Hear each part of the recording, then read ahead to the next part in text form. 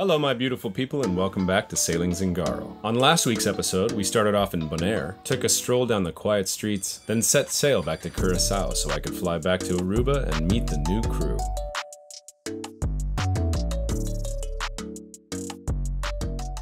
Okay, guys, I'm at the airport, and uh, turns out that they're sold out for the next week. I was trying to get on standby, but the last two people showed up like two minutes, two minutes to go. They were gonna, they were gonna sell it to me two minutes later. So we made plans to sail to Aruba. We're gonna sail to Aruba in three days. Get ready for some more lagoon footage to be continued. Okay, before we get to the sailing footage, I've got some other footage for you. This is from my birthday party. I don't normally share this kind of stuff, but I'm gonna go out on a limb here because some of this stuff is hilarious. And you can get it like a feel for the James behind the James, yeah. I'm always like this. This is the thing. I just want to prove it to you. so I have circled the sun one more time and the party was on a friend's boat. They have a YouTube channel as well. They're called Too Short. They're very cool. So without further ado, enjoy the little snippet of my life. No, no, Bobby, no. I'm a unicorn.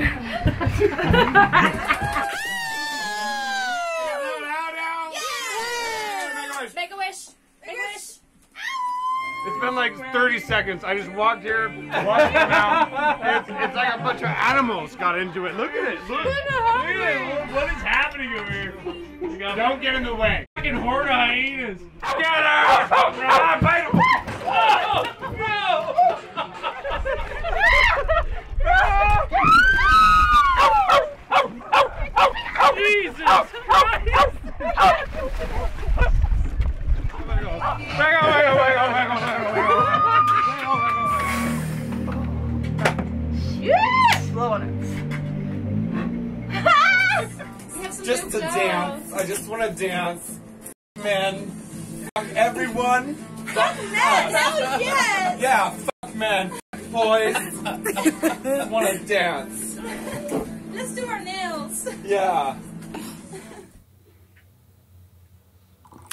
Tried to warn you. So what I'm not sure is what to do with this footage. I want to make a little clip just for my friends and family, and I don't know what music to put to it. I don't really know how to edit it.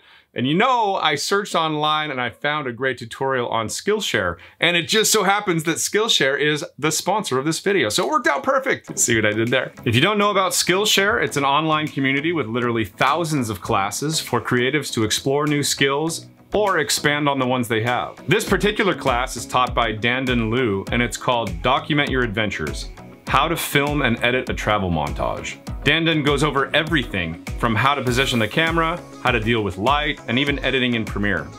It's a cool one. I definitely recommend it if you're new to videography. So whether you like to edit videos, edit music, or paint your own boat, there's a class for you on Skillshare. It's curated specifically for learning, meaning there's no ads so you can stay focused, and they're constantly launching new classes. So whatever your passion, you'll find something. The first 1,000 of my subscribers to click on the link in the description will get a one month free trial to Skillshare so you can start exploring your creativity today. Now let's get back to the sailing. That's super cool of you to offer to go to Aruba. Dude, I think it's going to be awesome and totally, totally worth it. I think so. The ride back will be a little crappy, but uh, Understood, but- You can just motor the whole way. Boom, ten hours back. yeah. That's what I would do. Don't even try to sail it. Nope. But on the way there, we'll get the rest of the kinks worked out on your boat. Wow, I'm excited. More lagoon. More lagoon sailing downwind. This is great. Okay, I think this is gonna be way better for your daughter too. So his daughter comes in in two days, and she was gonna spend the whole vacation here in Curacao in the marina because uh, they need to finish the refit of their boat. But I'm saying get out of Curacao, go to Aruba. Your daughter will have a way better time. There's better diving there, Yeah. uh, better nightlife there. Um, I, I- I think it's a win-win. The batteries aren't even going to come in for another week and a half, so Okay, cool.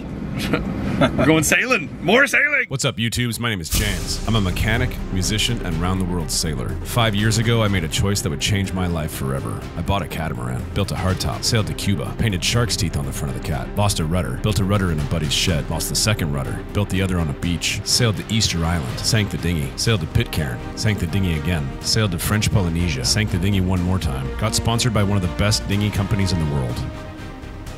Just testing it. Ripped the catamaran in half 100 miles off the coast of Hawaii. Tied it together with ropes. Rode it down Main Street in Lahaina at 3 o'clock in the morning. Wrote some magazine articles. Started a Kickstarter campaign. Bought a boat I can't rip in half. And now, after nine months getting her ready for the deep blue, I've finally set sail and I'm searching for my next adventure.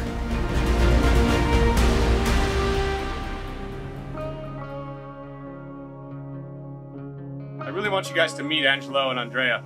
They've been very nice to invite me onto this boat for a little shakedown cruise. Let's see what they're all about. So tell me about this boat. You guys have owned this boat for not too long, right? A few No, months? Uh, we concluded the purchase the 13th of March, and we've been here on the island since the 9th of April. and now it is the 7th of July. It's the 7th of July. So what is that? May, June, July? Three months you've Three months, this. yeah. And you guys are really excited because you are going to be doing Uh, dive safaris. dive safaris. I like the sound of that. So tell me about some of the things that you've done to the boat. Uh, we put on 2,400 watts of solar. We put on a new bimini over the um, bridge. We put on a, um, a dive compressor and a compressor fill station and a dive bank. Um, well, dive bench for up to eight divers. What do you think about the bulkhead issue with that you've seen with um, Parlay and uh, a couple other of the 440 and 450 owners? Are you worried? No. Um, to date, there have been no uh, reports of 500s with bulkhead problems. So we're just going to um, keep an eye on the situation. If anything happens, we'll get it taken care of. But as of right now, we're not worried about it. Another question I get a lot is what are the pitfalls of buying a used boat and buying a charter boat? This is a chartered version of this boat. So, uh, what have you learned, Angelo, from your purchase of this boat? I've learned that most charter owners would rather spend a penny than two. There's been a lot of systems on this boat that were just downright neglected and had to be replaced or completely reworked and redone. The engines, sail drives, the heads, the generator was a piece of crap. The water system needs to be taken care of. It's just, he didn't spend any money on the boat at all taking care of it. If you guys are thinking about getting one of these bigger catamarans, let's see how much this couple spent on just their refit. To date, we have spent eighty-three, eighty-five thousand dollars. 83 to 85,000. Yeah. Eighty-three to eighty-five thousand dollars. Yes. Wow. It entails um, a refurb of the engines and um, So the wind noise got a little out of control here, but what Angelo said I feel is important. So I'll go over everything. Now, what this $85,000 entailed was engine refurbishment, new sail drives, rebuilt transmissions, a new 20 kilowatt generator, welding and material for the aluminum bimini and dive station, new bottom paint, Echo Pilot forward looking sonar, electronics upgrade, a new VHF, new chart plotters, new AIS, all of that. 2400 watts of solar and 2400 amp hours of Dakota lithium batteries. That's a ton of lithium. So you decided to go with the 3D version of forward scanning sonar. That was a pretty big investment. If you paid 83000 for your refit, that was a good chunk of it because that's, what, a $13,000 investment? Uh, has that been something that has been beneficial to you? since the install, it hasn't been of much use because we haven't sailed much since it's been installed. But we're actually um, looking forward to using it in the Bahamas because I would much rather have something on the boat that looks in front of where we're going because the sun's not always positioned correctly for somebody standing on the bows to be able to see what's in front of the boat. Okay, well, I don't know about you guys, but I'm really interested to see what this boat will do. So let's finish the refit and get out of here and get on the shakedown cruise. Hey man, you're standing in water. I know. My sugar scoops are always full of water because that's the way the boat was designed. Um, they wash themselves out when you're underway. When you're standing still, you tend to get a little bit of green stuff growing, but it's not that bad. Take a scrub brush to it and you're good. Okay, so that stays open. Um, until I can get this squared away, yeah. Is that a problem? No, it's not a problem. I just need to put a piece of this rubber matting behind here so that it doesn't chafe, and then I can tie this down. Then this won't be flopping around when we're underway. Okay, stop. We need to back up just a second. I highly, highly doubt that Lagoon designed the 500 to have the transoms underwater at all times. Honestly, Angelo, it's probably because you have too much shit on your boat. And before you freak out and say, oh, James, you Why are you throwing him under the bus? I'm not putting this out just for the sake of pointing it out. This is a very common misconception with catamaran owners, and it needs to stop. You could have had a big monohull boat and had all the stuff you wanted in the world on that thing. But no, you chose a cat, you need to keep it light. That's the trade-off. The way a catamaran works, when it starts surfing down a wave and goes into the trough of the next wave and hits the trough and buries the bows, you need enough buoyancy in that boat to pop the bows back up before it flips and pitchpoles over. If you overload your cat, it is dangerous. Talk to any cat owner that has more than 20,000 miles and they'll tell you the same thing. It's really only half a joke that catamaran owners cut their toothbrushes in half and throw out all their silverware. I mean, I did that on Zingaro. You have to keep the boat light. Okay, rant over. Back to the story. Now, if you remember when I bought this boat, there was a really old crappy dinghy underneath the boat that was just tired looking and I thought it was trash. But I met my buddy Irvin, he took it, cleaned it up, blew it up, fixed the leaks, and it actually worked. For a time. As soon as I got to Bonaire, it just exploded. I spent three days trying to patch it up. I got it to where it was good, and then as soon as I took it sailing again, it exploded again. So when I got to Aruba, I ended up giving it away to a couple kids. You guys met these guys. They're the spear fishermen brothers I'd been having fun with in Aruba. So they actually fixed the dinghy, but I needed a new one. So because Angelo and Andreas decided to sail to Aruba, I had the opportunity to get another one, stick it on the boat, and get free delivery. And I knew just the guy to talk to. What is up, my beautiful people? Do you recognize this good looking guy next to me? This is Irvin. You guys remember him from fixing my dinghy. Well, the dinghy didn't last because it wasn't Irvin's fault, it was the dinghy's fault. It was really my fault because I had him fix it and I didn't realize that the material that these things are made out of is called Hypalon and it was so old that it was just delaminating. I mean, it just basically, bro, that thing just fell apart as soon as I put it on the boat. So I told him and he kind of felt bad and I, you know, you don't, you don't have any reason to feel bad. But um, he's gonna sell me another dinghy. So let's go see. He's got a couple of them. We're gonna go check them out. We make the new tubes for the dinghies and we refurbish them. Um, so the hull is old, but we build new tubes for them. Like that one too. This is here for um, uh, repair. We built this one like three years ago already, and that's two years old. And what's the P stand for? It's for Prince. So they call me Prince since I, I was little, and when I started it, I say, hey, I have to put a mark, you know. So I, I put it. So, so is your brand. Yeah, for the tubes. We build them brand new and we make them custom how the client ones. And is it the same as like if I were to buy an AB one? Is it the same material or it's what? the same material, but uh, we're using the thicker one on this one. Like for this particular dinghy, normally they use uh, 820 from Orca. It's a little bit thinner, and I used 828. It's a little bit thicker. They use some bigger boats, but I use them on small boats too, so they last longer. And we put rub strikes extra if they people want, or extra handles, whatever, whatever they want, to make them more theirs. This is a brand new tube we just built. This is gonna go on this hull. It's a 12 foot dinghy, 11 foot dinghy. Well, these are just the tubes. Yeah. Oh, I didn't even know you built them like this. So this is an 11 feet uh, dinghy. So the this hull used to be from AB. It's a lightweight 11 feet, and we are refurbishing the hull now and uh, we did doing the, re the repair job to re reinforcing the sides to make it stronger. And I'm going to paint it to make it look nice again, and then it's going to go up for sale, and for less than a new price, new boat, but it's actually new. And uh, this is going to be the one you're going to take.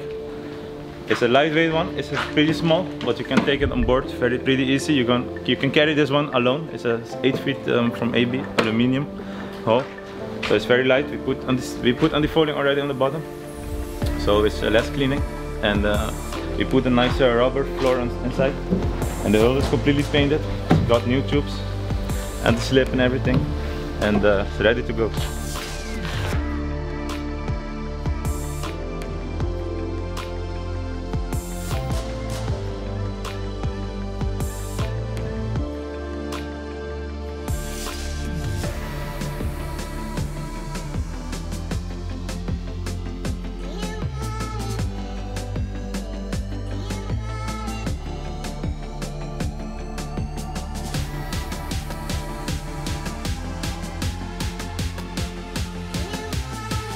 Check this out, this big girl's doing 13 knots downwind. 13! 13 on a lagoon!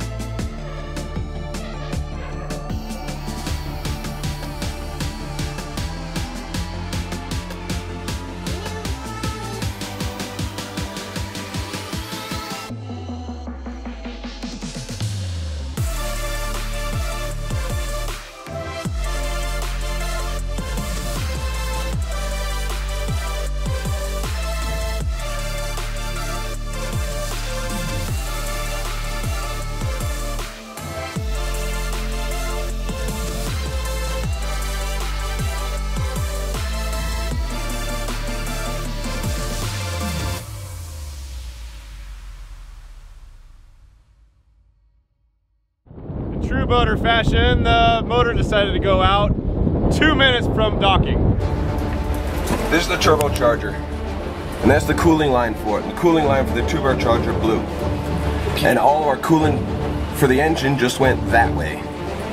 So we're down to one engine until we can get this looked at. Oh, it's all down there. huh? Yep, it's all over the place in here. Bilges are full of it. Okay, so. Uh, Just shut this one off, leave it off. Okay, yeah. Well, it won't even shut on, turn on now. It No. won't. Even, it won't even power on. It's probably because it got hot and got stuck. Okay.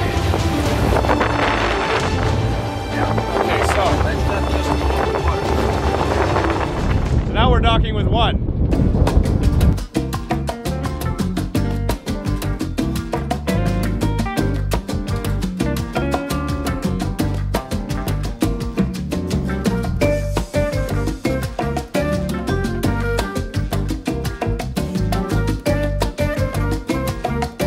You guys, you guys get that dinghy tied up to the dock, and I'll help you get that uh, motor flushed out. Don't worry, we'll, we'll save it. Don't worry. Not a big deal. It's gonna be okay, man. Don't freak out. It's good. It's gonna be fine.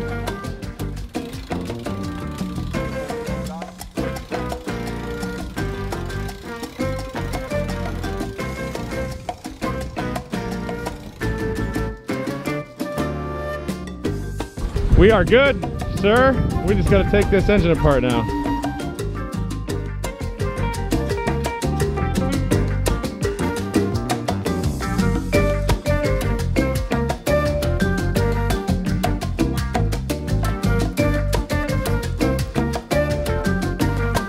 Okay, go.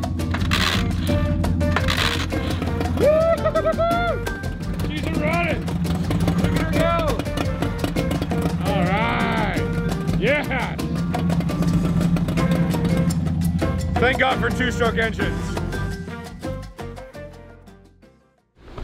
Okay, so we are finally in the marina. Uh, we are up one dinghy from th this morning when we flipped it. Uh, we are down one scratch to the neighbor's boat, and uh, that's pretty much it. There's, oh no, no, we're still down an engine. Oh yeah, and we're down an engine. But the guy that helped us get in here with his with his um, boat, he's actually a diesel mechanic, so he's gonna help us out. that was your first crisis, man. How you feel? Wrung out. Yeah. And that was only a couple hours. That wasn't even a big deal. Imagine like Yeah, I know. I mean, we were being right in the middle of the water. right in front of the marina.